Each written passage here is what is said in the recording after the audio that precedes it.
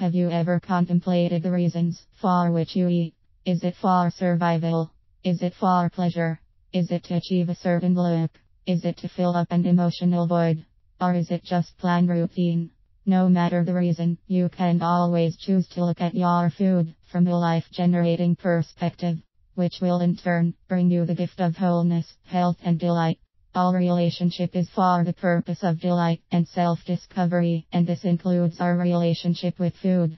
When we eat, we are interacting with life, with nature, and with ourselves. And when we truly realize this, we will want to reach for those foods that express the vastness, aliveness, diversity, richness, and beauty of life. When we understand that food is just a diverse expression of who we are, we can enter into a relationship of appreciation, resonance, and mutuality if we chose so.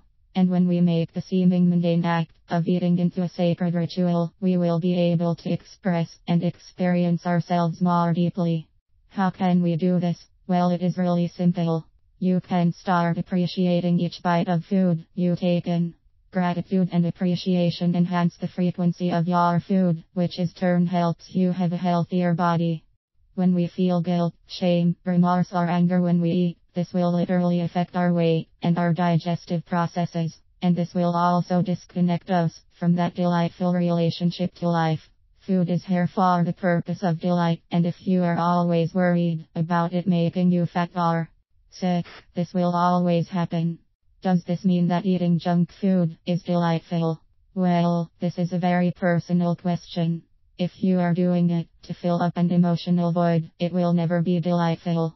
If you do it after years and years of deprival and as a means of self love and freedom, it might. But as you open up to who you really are, you will realize that the most self loving thing is choosing the most pristine, natural, living, and whole foods without effort. Not because you have to, but because you want to. Bottom line is that you can choose to create a beautiful relationship with your food. You can choose to create a sacred communion with all life through your appreciation and gratitude towards food. Let go of the guilt and shame. Focus on cultivating a higher perspective and YOULL see that the foods that you reach for will naturally change. I am here for you. Monica.